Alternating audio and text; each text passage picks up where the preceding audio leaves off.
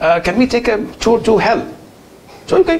When we go to hell, oh, yeah, I know these guys here. They're all celebrities. Yes, yes, this uh, actor, this actress, this singer, this rapper. Man, yeah, this is a place to be in. Isn't this a sad reality? The ten heaven bound, the best people who were beloved to the Prophet. ﷺ. He stood once on Jabal Uhud and he says, Abu Bakr fil Jannah. يعني أبو بكر in Jannah. عمر in Jannah. عثمان in Jannah. علي in Jannah. أبو عبيدة عامر بن الجراح in Jannah. عبد الرحمن بن عوف in Jannah. الزبير بن عوام in Jannah. طلحة بن عبيد الله in Jannah. سعد بن أبي وقاص in, in Jannah. سعيد بن زيد بن عمرو بن نفيل العدوي القرشي is in Jannah.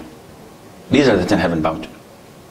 If you don't know them, their stories, who they were married to, how they lived, how they died, how they accompanied the Prophet, ﷺ, what do you know?